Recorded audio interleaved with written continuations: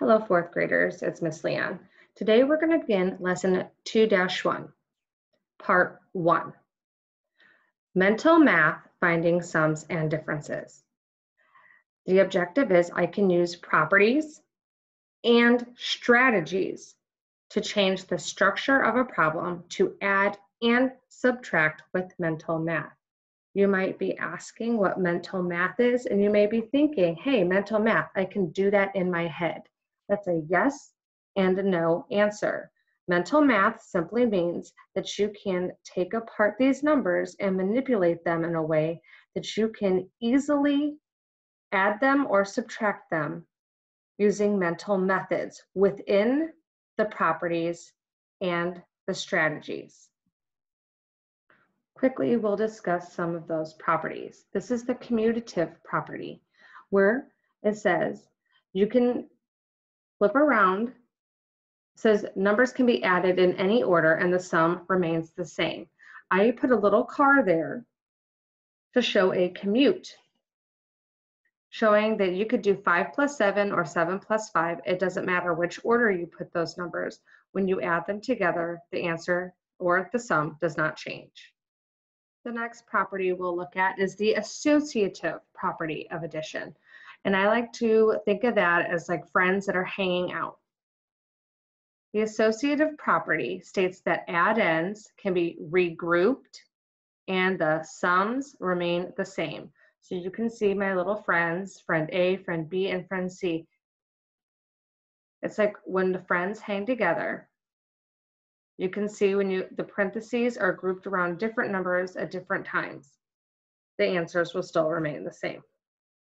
The last one is the identity property. Zero is like looking into a mirror.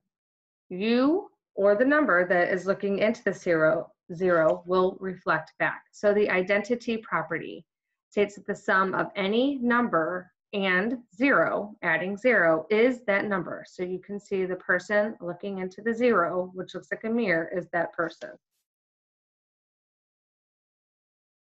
Here are our notes for the first part of topic two, addition and subtraction. There are properties and then there are strategies. There are two different things, properties and strategies. There are three properties of addition. I showed you before. There is the commutative, the associative, and the identity. The first one is the commutative. To commute, you can see I have a little car here that I have drawn. It means to like when you are driving, like I would drive from my house to Ross and from Ross to back home. I'm commuting to go back and forth. Like I said, it's saying seven, five plus seven or seven plus five. It doesn't matter which order you put it, both are going to equal 12. The second property is the associative, like to associate, like when you have friends, friends hanging out. I explained that like I have two friends, Lee and Katie. So me and Lee can be hanging out and then Katie can join us later and we're still all friends. It's the same amount of friends. Or Lee and Katie can be hanging out. You see those parentheses, it's grouping those people together or those numbers together first.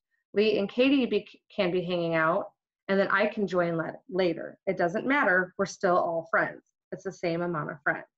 When we apply that to numbers, you can look and you can see it's four plus three in the parentheses, and then eight comes to hang out later.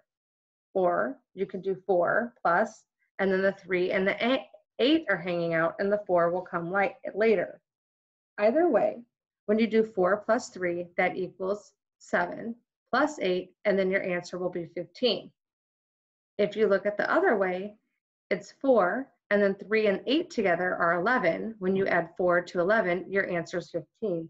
Either way, you are getting the same answer and the associative property. It's just who you are going to have hang out or group together first.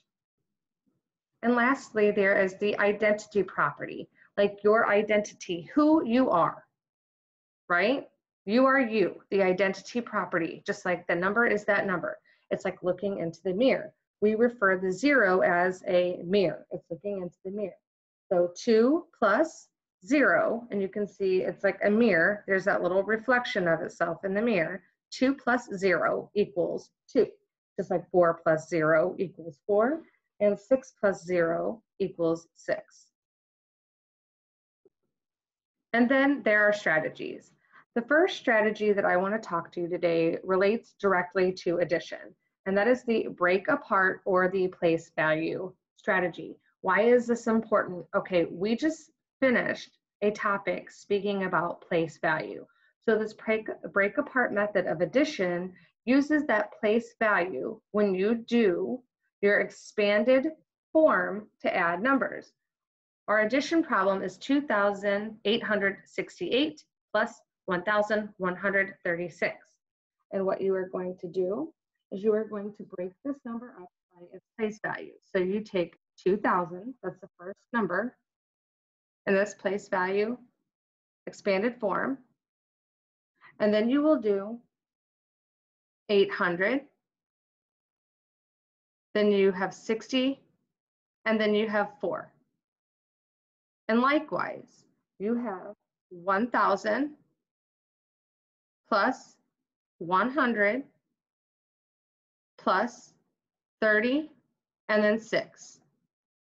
Then what you do is you add each place value together. 2,000 plus 1,000 is 3,000.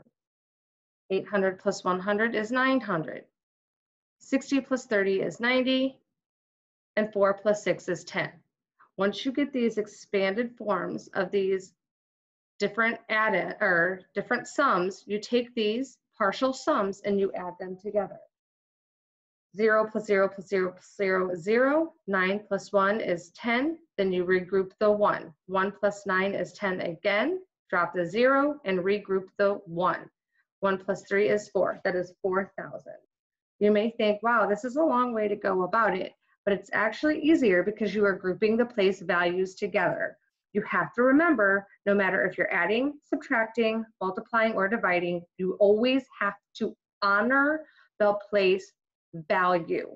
It matters how many zeros or where that number is placed. It changes everything completely when it's not placed correctly. You need to honor the place value. Today, we're going to go ahead and work on using either properties of addition or this strategy. Good luck.